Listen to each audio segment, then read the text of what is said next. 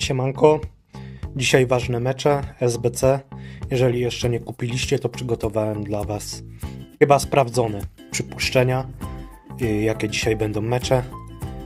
I mamy tak: Juventus Torino, Derby Turynu, Reims Monaco, Arsenal City i Gent Genk. Jeżeli nie kupiliście jeszcze kart, teraz jest ostatni moment.